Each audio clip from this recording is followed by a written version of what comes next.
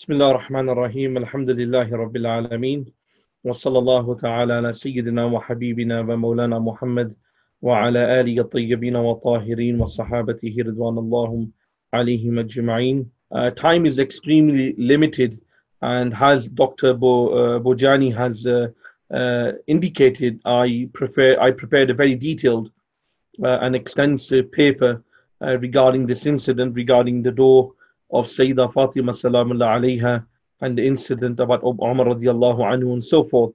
Uh, I will attempt, inshallah, I will try in my best uh, ability to summarize it and discuss some of the the more fundamental issues regarding it and inshallah maybe during the Q&A I can spend a bit more a, a bit more time in going and discussing it. Uh, I don't want to really talk about the work of CIMS because you know Dr. Bojani has done that. It's, it's, it's uh, uh, words won't do justice. Uh, however, one of the most contentious, in my views, even though this incident regarding the Dove Sayyidah Fatima is not amongst uh, the fundamentals of religion, it's not from the uh, the Zuriyat Deen, something which you will be questionable either on the day of judgment or in the grave. However, irrespective of that, because of the greatness of this honorable woman, Sayyida Abida Sajida Salamullah Alayha, uh, it becomes extremely contentious or con- uh, uh, becomes extremely worrying between the both factors or the both parties between Ahl Sunnah wal Jama'ah and, and, and, our brothers from the Shia uh, school of thought. And it becomes so contentious to such an extent that it can lead to violence. And hence the reason there's a need for us to uh, academically critique what we say, academically look at the evidences and look at uh, ways of addressing these issues so that we can have dialogue, so that we can look at uh, looking at what did the scholars say and looking at it at a modern perspective. Now, the incident, and one thing I mentioned in my paper, which I want to uh, mention clearly, is that if this incident, I, am first of all against this incident, but if this incident did actually take place, it rightly deserves condemnation, condemnation of Umar radiallahu anhu. If this incident did take place, if he did actually do what is what he's accused of, it definitely does deserve condemnation, defaming his character. At the same time, in order to uh, support or for the proponents of the people who support this notion that this incident did actually take place, it's paramount upon those individuals to substantiate their arguments not with any weak narrations. It has to be authentic and rigorously authentic narrations that this incident took place for two, three reasons. Number one, because it's not a small issue, it's a fundamental issue in regards to uh, you know, insulting or assaulting, should we say, physically insulting the daughter of the Prophet ﷺ. Number two, you are defaming a character uh, in whom Ahl Sunnah wal Jama'ah hold in extremely high regards, has the second amongst the Khulafa. Thirdly, uh, we have uh, many, many hadith regarding his fadail and his greatness. So the benchmark of, of judging him or the benchmark of uh, countering, at, uh, countering a narrative against him has to be extremely high. It cannot be weak. Now, one of the things I realized in my research in this incident is that when you study this point, and, and, and let me just mention one part of Usul for Ahl Sunnah wal Jama'ah. The notion that an incident has been narrated by many scholars does not necessitate that that actually event took place. Okay, that's the notion that we have to understand. That if something uh, is narrated by many scholars, it doesn't mean that that the narration itself uh, is, is, is something that took place. Now, Imam Sa'aduddin Taftazani, who died in 793 after Hijri, the great Usuli Sunni scholar, he asserts that singular narrations can be termed mutawatir bil ma'na, al mutawatir bil ma'na. But he says that, uh, or he highlights the underpinning condition is whatever is that the stated narration whatever's been narrated must be authentic. And and when these singular narrations become widespread then they can be termed as mutawatir bil ma'na.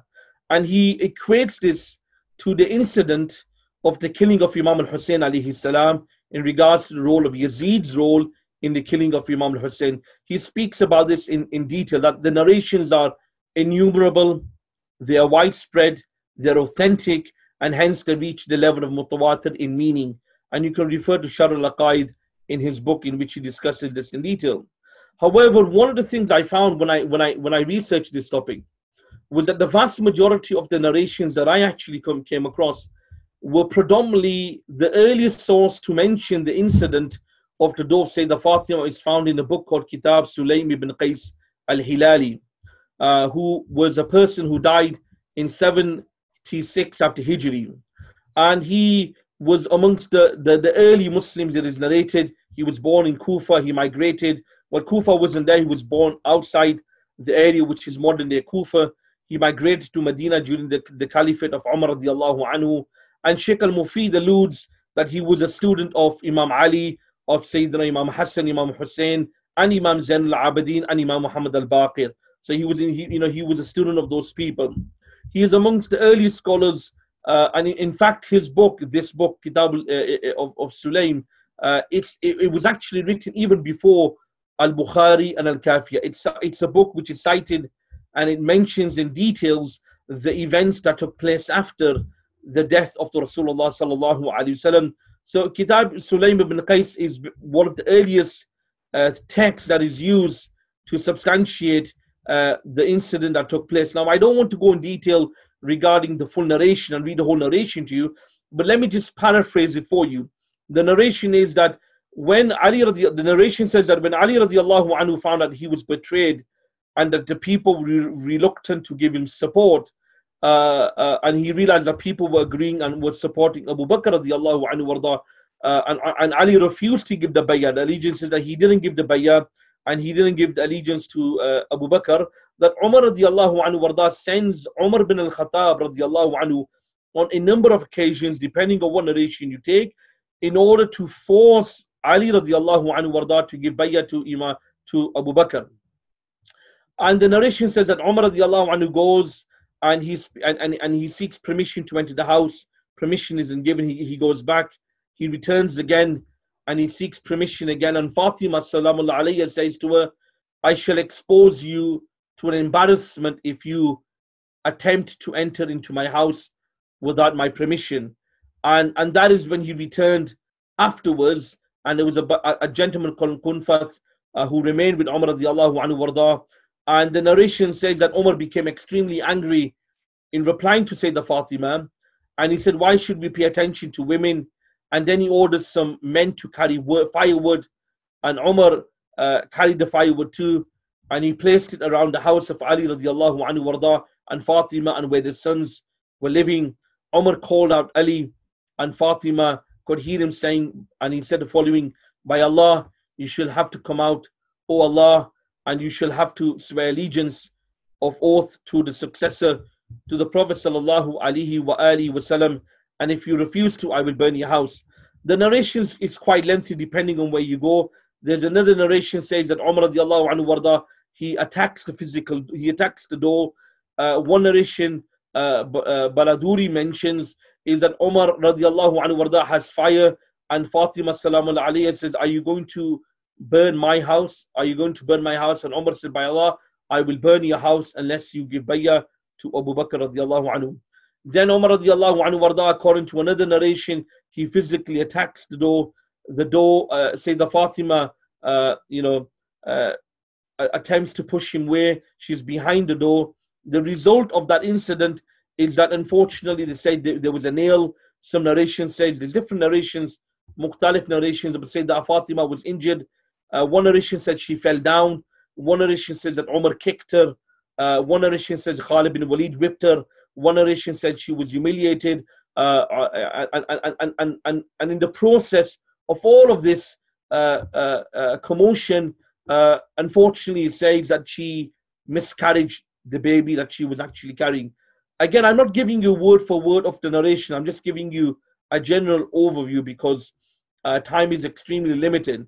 However, the issue that we have, and I want to get straight to it, is that when we scrutinize this incident or the book uh, of uh, Qutayb ibn Sulaim, there's an interesting observation which is made by uh, the Exeter University professor Robert Gleave, who states that the book is extremely controversial due to authenticity and is heavily debated among Shia scholars regarding the permissibility of deriving theological dogma from. In fact, Ibn al-Ghada'iri, a renowned scholar in his Kitab al-Rijal, rejects the authenticity of the book based upon conflicting narrations, which according to him opposes the general principles of the Shia belief. The leading Muslim jurist Hussein uh, Mudarrisi, he argues uh, that the only authentic fact regarding this book, which mentions the incident of Sayyidah Fatima, is that it's early. However, he refuses to accept that it can be traceable to Ali radiallahu anhu, and he puts it towards the date of death between 139 after Hijri when Aban passed away. And he even and he even actually went even further, and he says that Sulaim, Sulaim ibn Qais al-Hilali was a fictional character. He doesn't exist. He says he invented, this was an invention to give the anti-Umayyad critique an early provenance. Uh, Sheikh al-Mufid, a renowned classical international scholar, in his book, Tashih I'tiqad al-Islamiyya, he says, or he is of the opinion, that the book is a fabrication and can't be relied upon. He further states that due to authenticity, it is not permissible to ground one actions in regards to it. And there's many other scholars that have said that the book is extremely flawed. However, equally, there are those experts that would disagree with these scholars and have concluded that the book is authentic. And that is Muhammad Baqir al-Majlisi, Abu Faraj, Muhammad ibn, uh, Ishaq al-Nadim, uh, Muhammad Baqir al-Ansari al-Zanjani, and so forth these scholars put forth and say, no, the book is actually uh, an authentic book.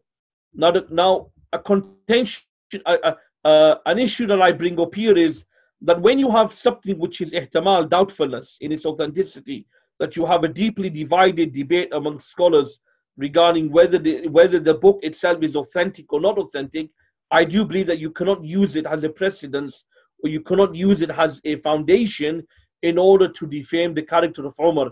In other words, what I'm trying to say, even though this is the earliest source that mentions such a so called incident took place, by its pretext of the book being extremely flawed and so much controversy regarding the authenticity of the book, we cannot rely upon this book in order to uh, conclude that this incident took place.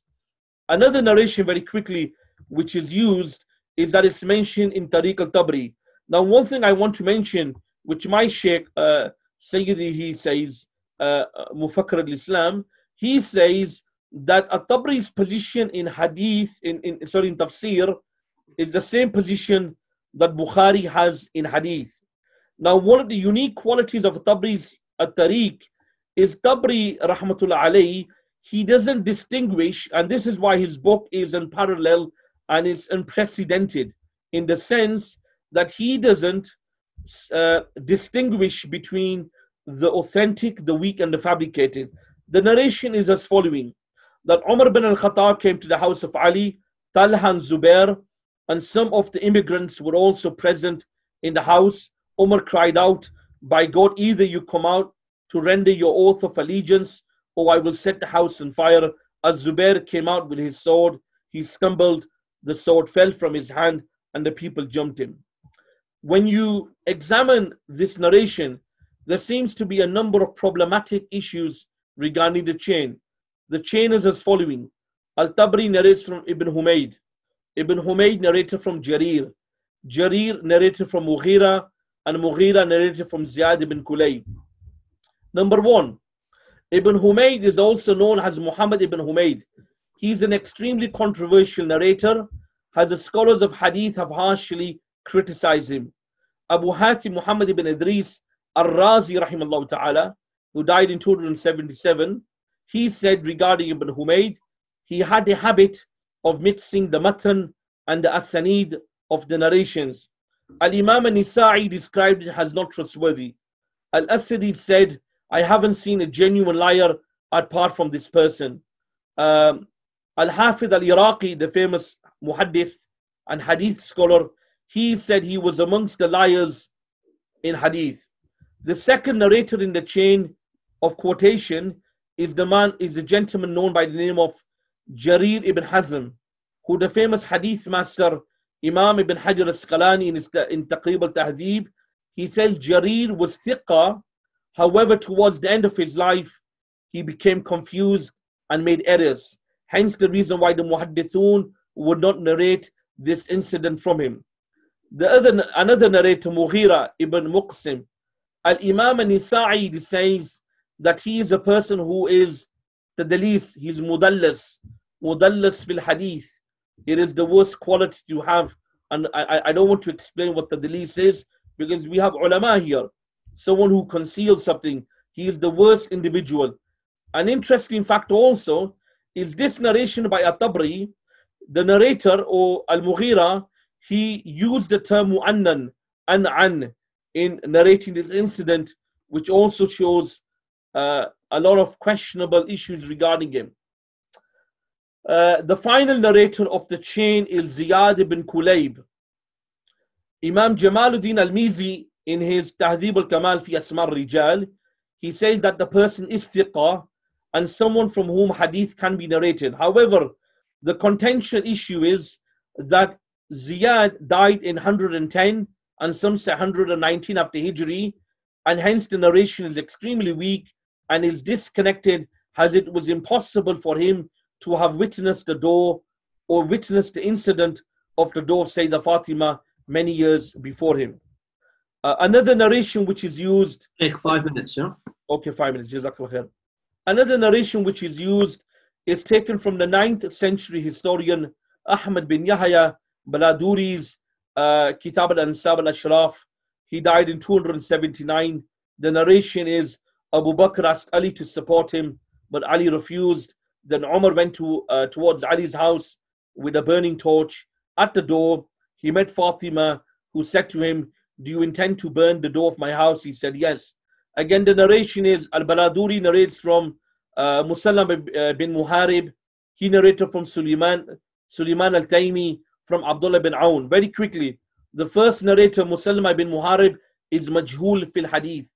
No biographical data is, regard, is available regarding him. Number two, the author of the book, Baladuri, Ibn Hajar al-Asqalani is critical of him, he is relatively unknown. No praise or criticism is uh, is made of him by his contemporaries. Hence why Ibn Hajar al-Asqalani placed him amongst the weak narrators in his famous book, Kitab al-Lisan al-Mizan. Another point that needs to be understood is Baladuri never met Sulaim al-Timi, al-Taymi, sorry, who died in 143 after Hijri, no narrated for him. He passed away in 143. The final narrator, Abdullah bin Aoun, apparently he narrated this incident directly from Abu Bakr as-Siddiq radiallahu anhu. However, he was born in 66 after Hijri and he died in 150 and it was impossible for him to have met, let alone narrated an incident from Abu Bakr radiallahu anhu. The time difference is about 50 years. Now you can go to my paper and, I, and explain it in more detail. Um, what again? I have a lot of information to discuss, but time doesn't permit me. But I will clearly go to my conclusion as uh, time is, you know uh, isn't on my time uh, or isn't with me. What I would say in concluding is I could not come I could not and I and I researched very thoroughly across Ahl Sunnah resources as well as Shia resources, and I could not find a single narration which was authentic, which substantiated that this incident took place. Hence the reason why I rejected because there's not a single narration which is authentic. And also I based this conclusion based upon the saying of the grand Ayatollah of his time, the great Imam of his time, Sayyid Muhammad Hussein uh, Fadlullah, uh, died 1432. He gave a speech in, in, in regards on Mother's Day and he spoke regarding this incident. And in conclusion, again, please uh, refer to my paper and read it in more detail. He says that he strongly rejects that such an unimaginable event or incident took place, and he draws his conclusion primarily based on common sense and stresses that logic refuses to allow it, allow him to accept that this event took place with his with her entire family and supporters with her. He also mentions his refusal to accept the narration due to being unreliable. He himself says that according to him, there isn't an there is not a single authentic narration which substantiates this from any of the Shia hadith or books of history, and that the incident itself it demands a negative interpretation of shame uh, being attributed to, say, the Fatima and Imam Ali uh, for not defending her honor. Again, there's a lot of issues I want to discuss. Time doesn't permit me. Please forgive me uh, for being very brief. Uh, I would have enjoyed doing more, but again, uh, we have to uh, respect the time that's given to us. I would humbly request all of our scholars to kindly read the paper, which is about 10 pages. It's over 6,000 words in detail. Uh, Jazakumullah khairan, Dr. Bujani. may Allah reward me. If I've said anything which is correct, it is the fadl of Allah subhanahu wa ta'ala and the Ahlul Bayt. And if I said anything which is incorrect, it is my own going, my own doing.